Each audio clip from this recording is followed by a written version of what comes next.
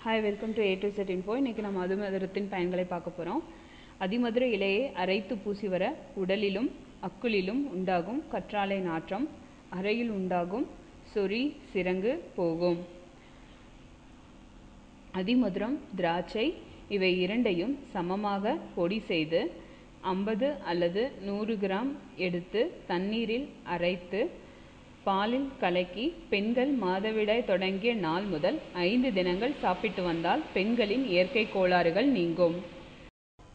அதிமதுரம் சீரகம் சம அளவு எடுத்து பொடித்து வைத்து வைத்து கொண்டு இருபது கிராம் பொடியை இருநூறு மில்லி லிட்டர் தண்ணீரில் போட்டு கொதிக்க வைத்து நூறு மில்லியாக சுண்டியதும் வடிகட்டி காலை வேளையில் மூன்று தினங்கள் சாப்பிட்டால் கருவுற்ற பெண்களுக்கு பிரசவத்திற்கு முன்னதாக உள்ள காலங்களில் ஏற்படும் உதிரப்போக்கு நிவர்த்தியாகும். ஜலதோஷம் ஃப்ளூ ஆஸ்துமா இவற்றுக்கு நல்ல மருந்தாக உள்ளது. இந்த அதிமதுர பொடி. அதிமதுர துண்டு ஒன்றை வாயிலிட்டு சுவைத்து விழுங்க. இருமல் தனியும் அதிமதுர சூரணத்தை தயாரித்து வைத்துக்கொண்டு இரண்டு கிராம் அளவில் தேநீர் குழைத்து தினமும் மூன்று வேளை சாப்பிட்டால் தொண்டைக்கட்டு இருமல் சளி குணமாகும்.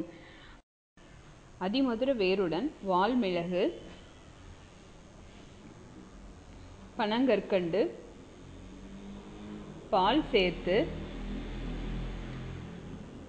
தயாரித்த கஷாயத்தை குடிப்பதால் தொண்டைப்புண் குணமாகும். அதிமதுர கஷாயத்தை வாயிலிட்டு கொப்பளித்தாலே வாய்ப்புண்கள் ஆறும்.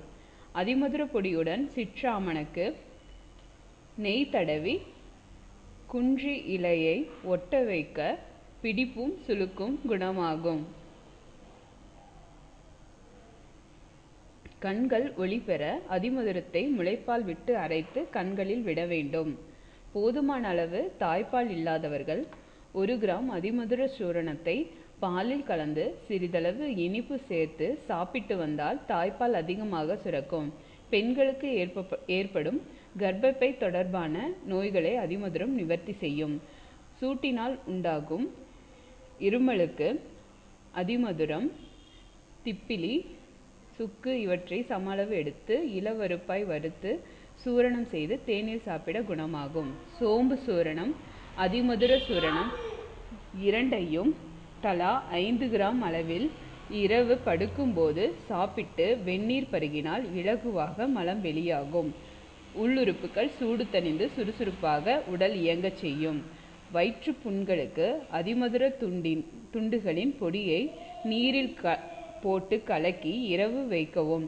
காலையில் அரிசி கஞ்சியுடன் சேர்த்து நீரை குடித்து வந்தால் வயிற்றுப்புண் குணமாகும். வயிறு கோளாறுகளுக்கு அதிமதுர பொடியை தான் எடுத்துக்கொள்ள வேண்டும். சூட்டினால் உண்டாகும் இருமல் மஞ்சக்காமாலை உடல் உஷ்ணம் போன்றவை தனிய அதிமதுர பொடி உதவும். அதிமதுரத்துடன் தேன் கலந்து சாப்பிட சர்க்கரை வியாதி குணமாகும். இதுபோன்று அதிமதுரத்தின் பயன்படுத்தி நீங்களும் பயன்பெறுங்கள். இது உங்களுக்கு பிடிச்சிருந்தா சப்ஸ்கிரைப் பண்ணுங்கள் கமெண்ட் பண்ணுங்கள் ஷேர் பண்ணுங்கள் தேங்க்யூ வாட்சிங் for A to Z info